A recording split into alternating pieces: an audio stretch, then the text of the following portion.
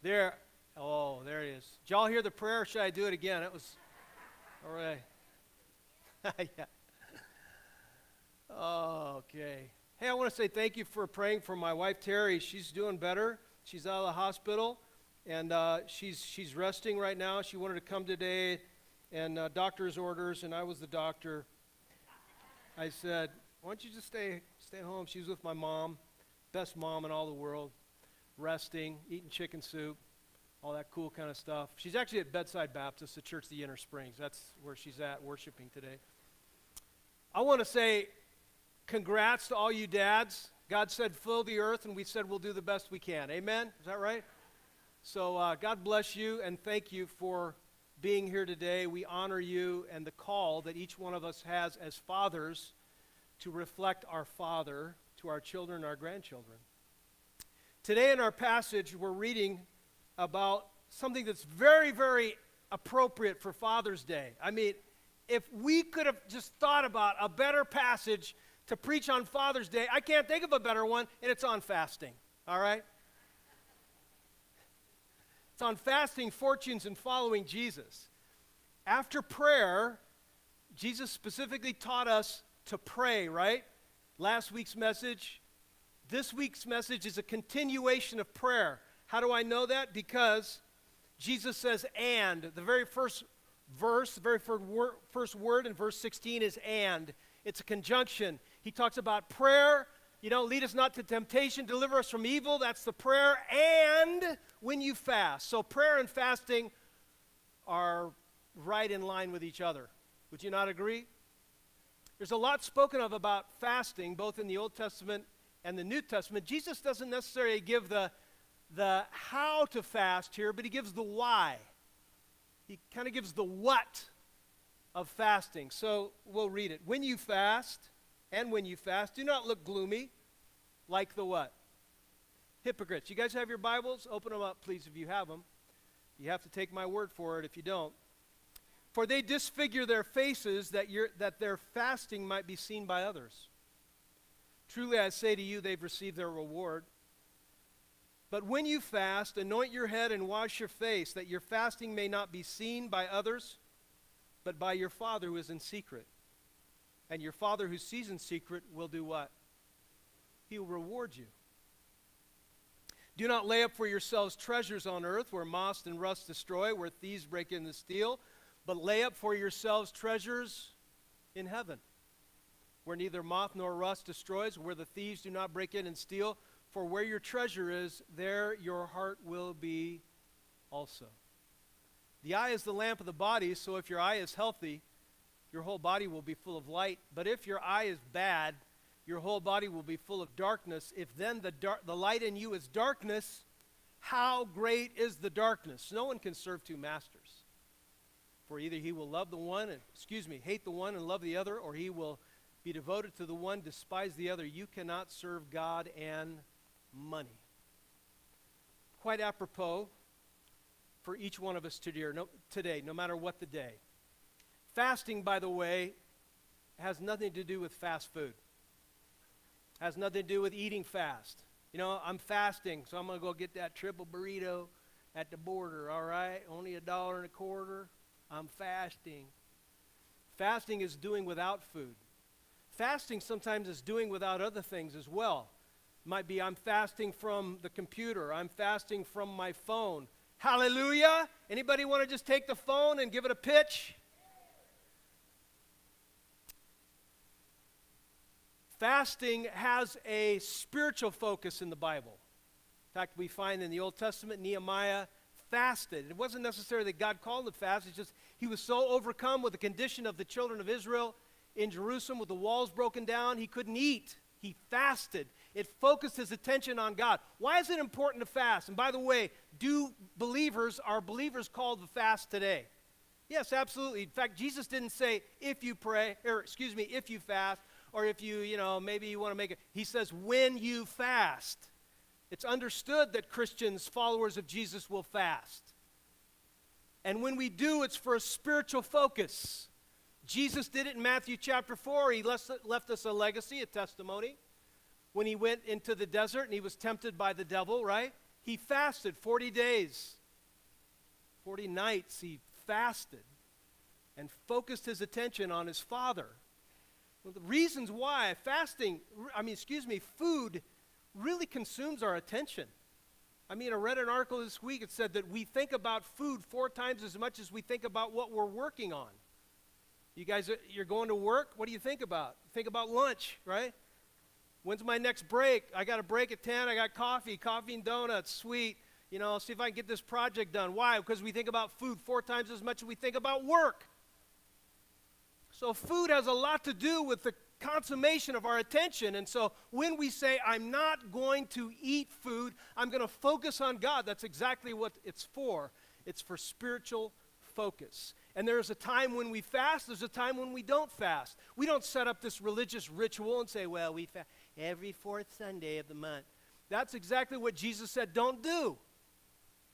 In the Old Testament, the people of Israel were called to fast one day a year. I think it's Leviticus, I believe it's Leviticus 16, I think it is, where God calls the nation of Israel to set apart, set themselves apart to fast. But there were times when they fasted, when they were overwhelmed with trouble, difficulties, and they fasted. In fact, Jesus was confronted by people. Matthew chapter 9, when when individuals came and they said, How come you don't fast? How come your disciples don't fast? How come you're like, like, the, like the Pharisees, we fast, but the followers of, of John the Baptist, they fast, but your disciples don't fast. How come they don't fast? I guess they're not as spiritual as we are.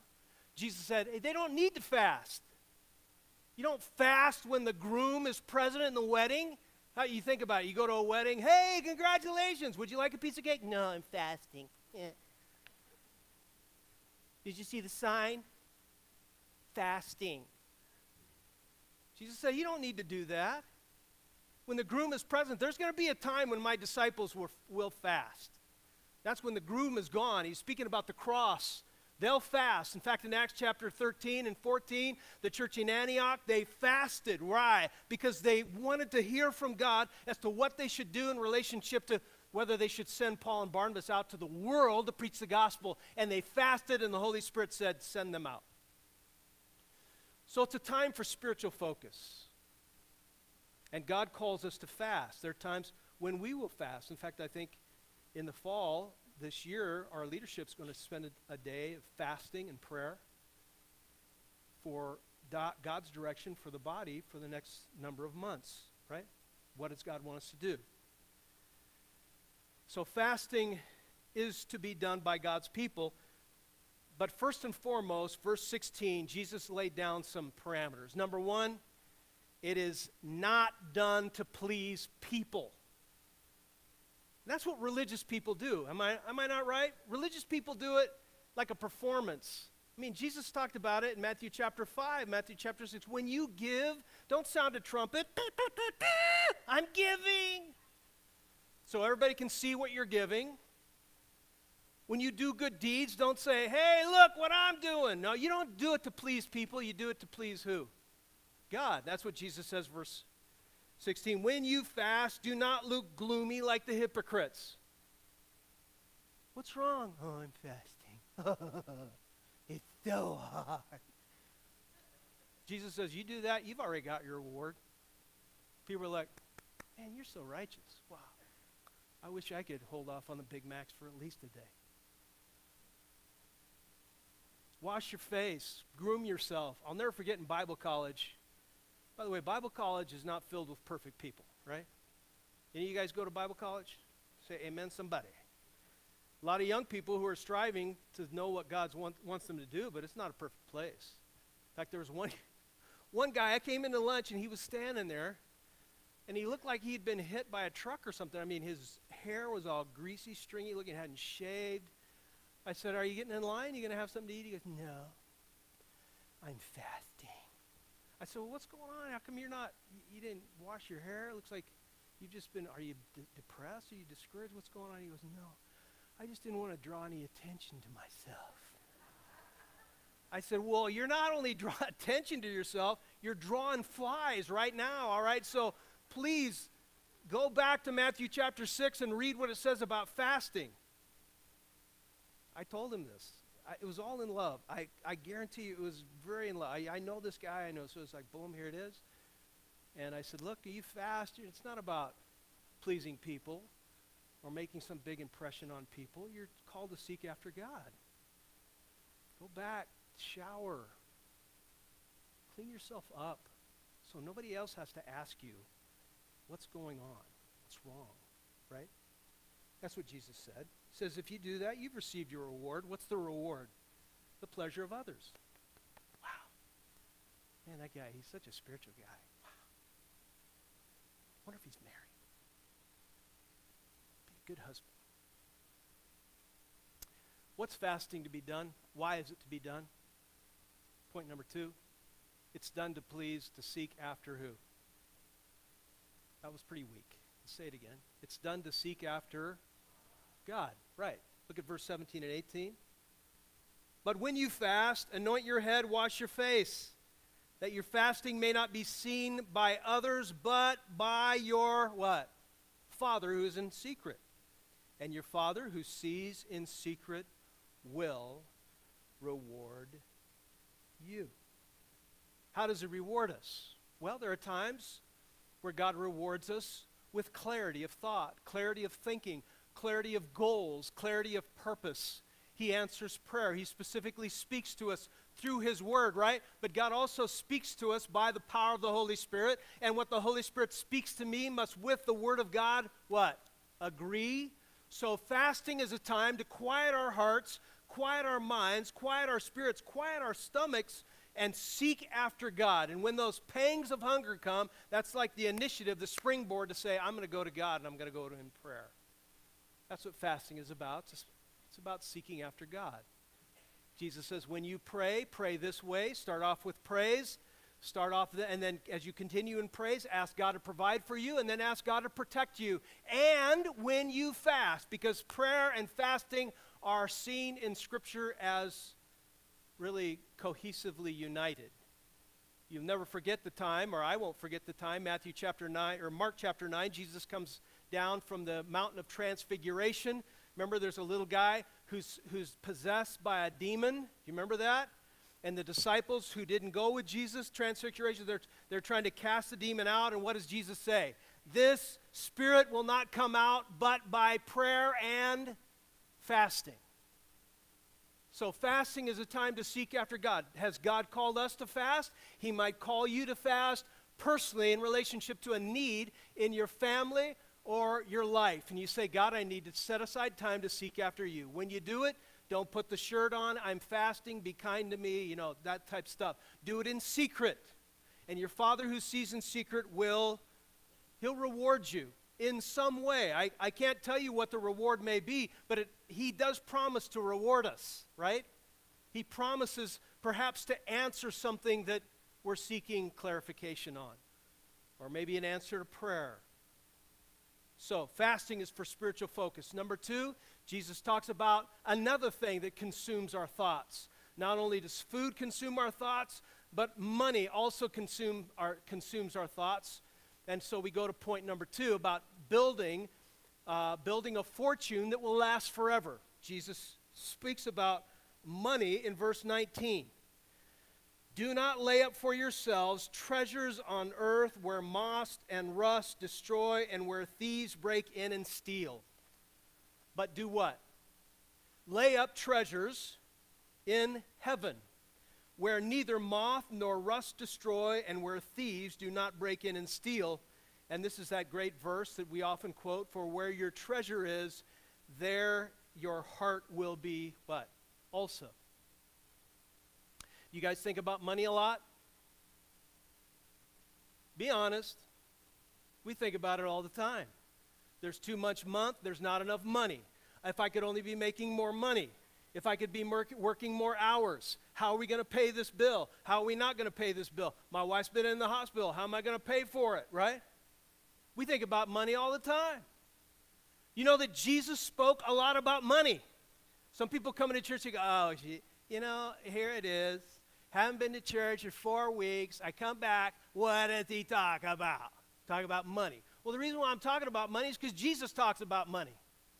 And he talked about it more than heaven and he talked about it more than hell. Why is that? Because money consumes us, causes us to worry, it brings anxiety into our lives. How am I going to take care of that house payment? How am I going to take care of my kids going to college? I got to sell my firstborn to send my lastborn to college? What do I do? You guys who have student debt, I mean, my heart goes out to you. Some people graduate from college, they got 100 grand in student debt, and they go to work as teachers. How are you going to do that? Money takes up a lot of our attention, and Jesus knows it. And he says, I want you to do something that few other people know how to do. I want you to build up a treasure that will last forever. Can I have a sign up list for that one? a sign up list so you can invest in something that your ROI, your return on investment, will never go down. It will, con- it will continue to escalate. And I'm not talking about buying silver this morning, all right? Hear those commercials? Buy gold, buy silver, buy real estate. Jesus says, do what God wants you to do with your money and it will return for you an investment that will impact the lives of millions of people and will last forever. How's that? In fact, when God calls us to give to Him, listen, this is something that we often have a mental block, especially when pastors are talking about it. When God calls us to give something to Him, He's not, He does not want to take anything from us. Think about that. So, oh, yes, he does. He wants a tenth. Do you know that God's invitation to give is not an invitation to take anything from you, but to give you an opportunity to experience something you'll never be able to experience any other way? And that is to receive from God. You say, oh, I don't know if I believe that. Oh, you can believe it because the Word of God tells us right? Heaven and earth will pass away, my word will not pass away. Whatever Jesus says, I believe it. Anybody else?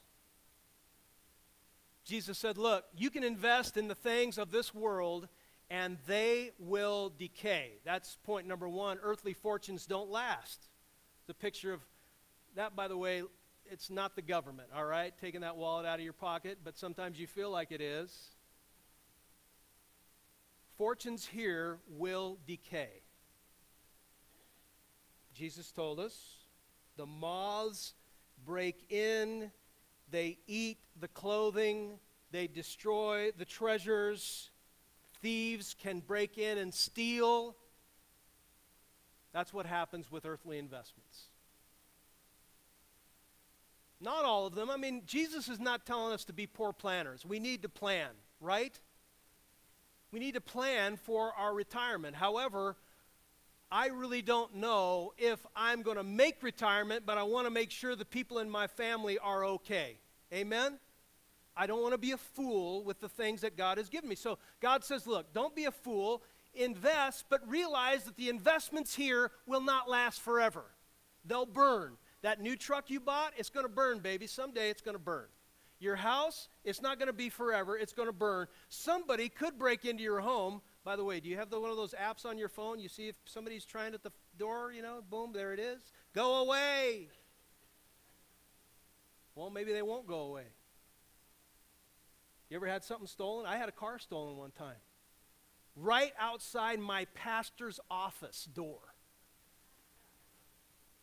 My little Honda Civic. Call up my wife. Hey, sweetie, did you move my car?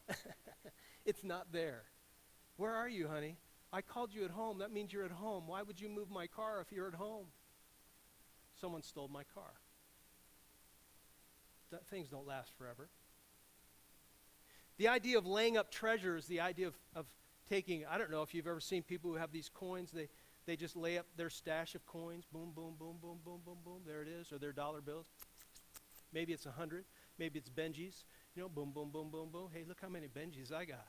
Wow, I got so many Benjis. How about the guy who built more grain uh, holders so he could put all his grain away, right? I got to build more holders. So I can put that grain away. And Jesus said, You fool, don't you know tonight you're going to die? And that grain is not going to be of any value to you at all.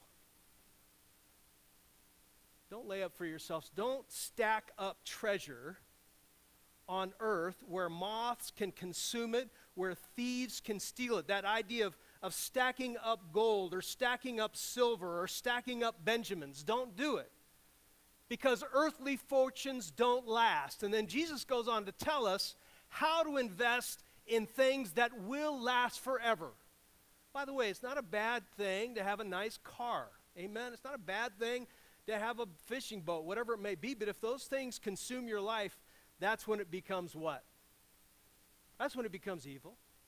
Riches are not evil. The Bible never says that money is evil. The Bible does say that money is the root of evil. Why? Because we lust for things that we do not have. And that's really the discernment between need and greed, right? It's every it's in all of our hearts. So forever fortunes come to those who see God's plan and invest in it. The big question is, what am I called to invest in? Jesus says we're to invest and really invest in that which will last forever. That's his whole idea. Lay up for yourselves treasures, fortunes in heaven where neither moth nor rust destroy, where thieves do not bring in and steal. Where your treasure is, there will your heart be also. My big question is, what is God's plan? Well, I'm going back to something that's very, very redundant, and I hope you don't flip the turn off switch when I say it, but Jesus gave us a command. He told it to us numerous times. He said, You are to be making disciples who make disciples. And once, I mean, that command is given to me, I hope that's the last call on my breath when I enter into heaven is I want to make disciples who make disciples. And that's what God's church is called to do. We're not called to mess around with the menial things. We're called to, in everything and for everything, see that people come to faith in Christ, that they're built up in Him, and when they're built up in Him, they share their faith so they can share their faith with someone else and build someone else up in Him. Pastor Mike said somebody from Hume Lake met Jesus. Is that right?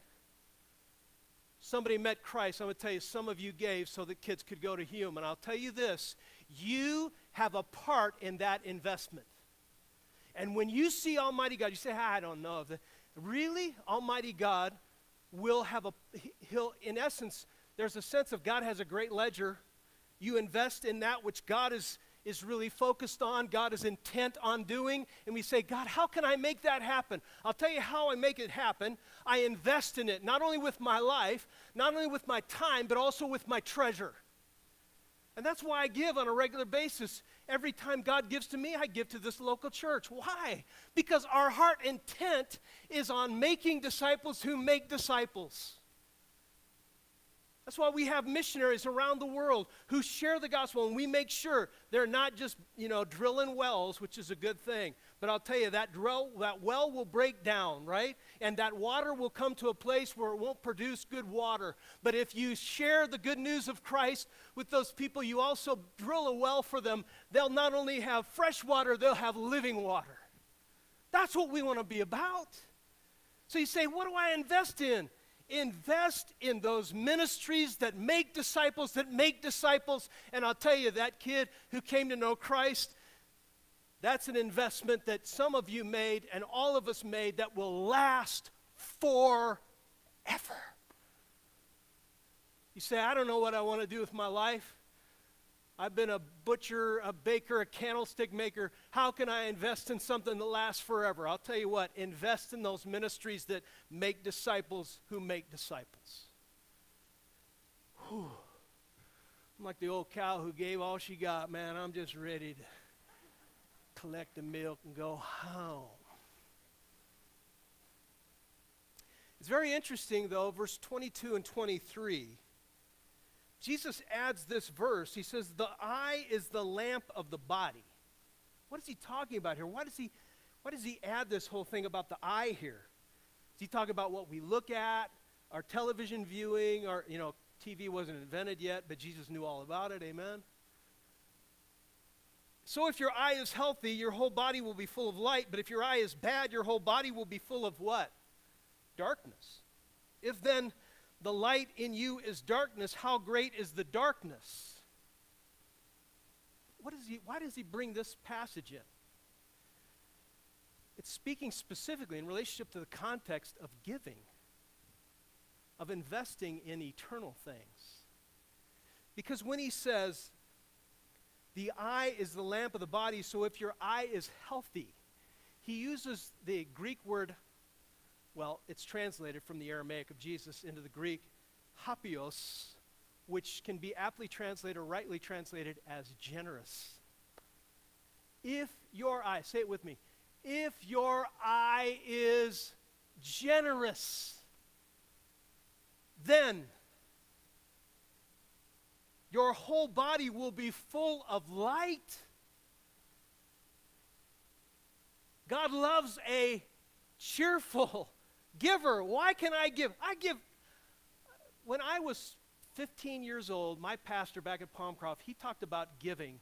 And he said, You can never outgive God. And I chose that day, I'm going to believe what God says. No matter what God gives to me, I'm going to give first. In fact, my dad was always this way.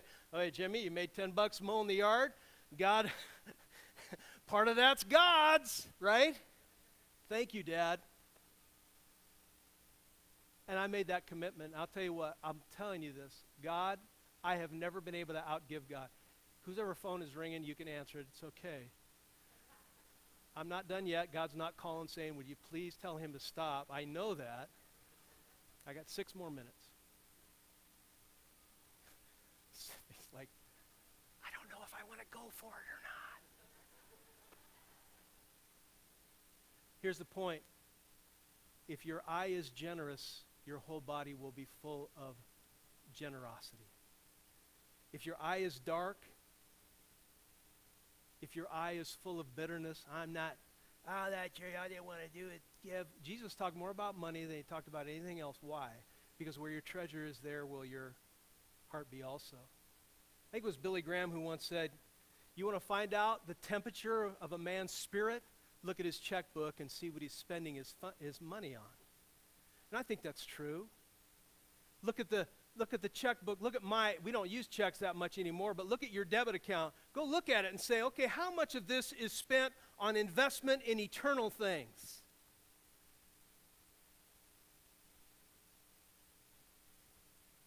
Where your treasure is, there will your heart be also young man was one time, uh, he was asking a young girl to, to marry him, and he says, Sweetheart, I love you. She said, I love you too, my guy, I love you too. He says, But I, I don't have the money that Johnny has. I mean, he drives a brand new car, and I just got this old Fiat. She says, oh, I love you. I love you. It's okay. I don't have the I don't have the money that Johnny has. I mean, he has a brand new house, and all I got is this mobile home. And but I love you, sweetheart. Everything I have is yours. I, I don't have the, the job that Johnny has. I mean, Johnny, he makes six figures, and I'm just barely putting it out, but I love you. She says, I love you, Johnny. But, excuse me, I love you, Mike. He says, but would you please tell me a little bit more about Johnny? Uh,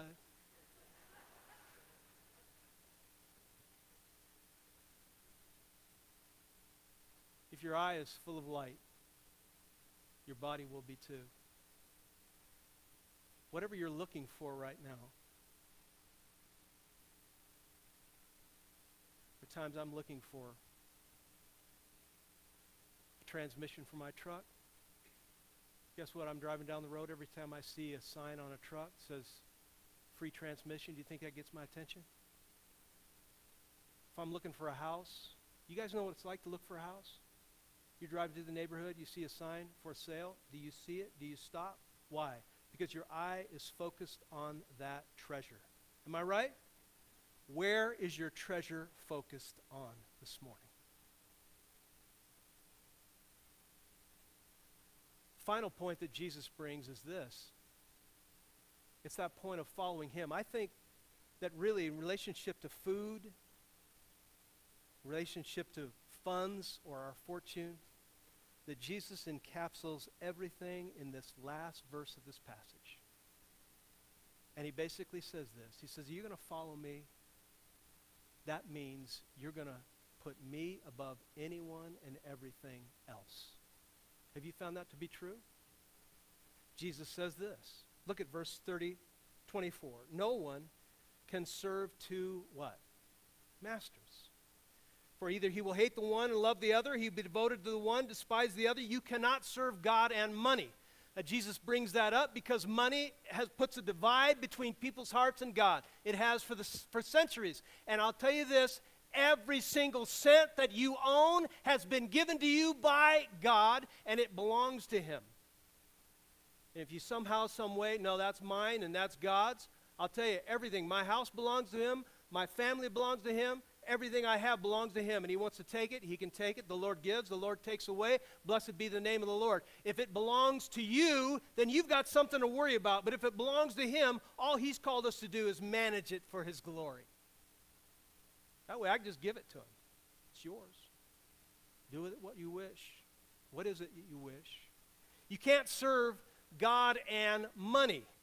Some people say, well, I got two jobs. I make it work. No, it's not talking about jobs it's talking about slavery. Jesus said, You cannot be a slave to money or a slave to me. You can either be slave to one. People say, That's really quite uh, sadistic. Where, where does it say in the Bible that we're called to be Jesus' slaves? Right here. The word is doulos, the same word that Cole's last name. The word doulos means slave. Literally, Jesus says you cannot be a slave to new masters. You will either hate one master, you love the other, you will be devoted to the one, you despise the other. You cannot serve God and money. Who's the only one who can be our master, ladies and gentlemen? Who's the only one we are enslaved to? In fact, that's what Paul says over and over in the New Testament. He says, I am a bondslave of Jesus Christ. I am committed anything and everything to Christ. Everything belongs to him, and I've given him everything, and there's nothing I've withheld from him. And that's the call to everyone of us here this morning. You say, Well, I'm living in a relationship that I know is dishonoring to him. You got a commitment to make. You go to bed at night, you go, I know my life is out of God's will. You've got a commitment to make. If God is calling you to do something with your life or your money or your home or your relationships and you say, I'm not sure, I've got a divided heart, you've got a decision to make. And I do too. Every single day, I've got a decision to make. And I'll tell you the choice that I made a long, long time ago, and I have to continue to continue to continue to make that choice every day, and that is this I choose to follow Christ. Wherever he leads me, I will follow. Whatever he feeds me, I will swallow. He is a good God. He is a good master. I am his slave. And that's the only place of freedom is to enslave yourself to Jesus. So as we close this morning, band comes up. We're going to sing a, a closing song. Really, it's a song of celebration of following the Lord, but I'm going to ask you this question Is there anything between your soul and the Savior today? You say, I'm living in a relationship that I know is dishonoring to God. You got a decision to make because you cannot serve two masters. You can't serve self and serve the Savior. You say, Well, I got an issue with my funds. I know God wants me to do this, but I want to do this. You, you got a decision to make. You cannot serve two masters. Got an issue in your family? I'm not sure what our family should do. I know this is what I want to do, but this is what God wants us to do. You cannot serve two masters. Will you make that decision right now to say, I choose to follow Christ? Let's stand as we sing, and then we'll close in prayer.